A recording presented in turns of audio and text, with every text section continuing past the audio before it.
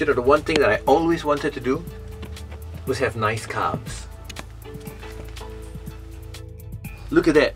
I've been bugged all my life as Mr. Chopstick Man. Well, there you go. You need chopsticks sometimes. What is the one thing you want to do? Upload a video on that one? Send us the link to www.mix.fm or upload it to Instagram and hashtag MixATMHunter.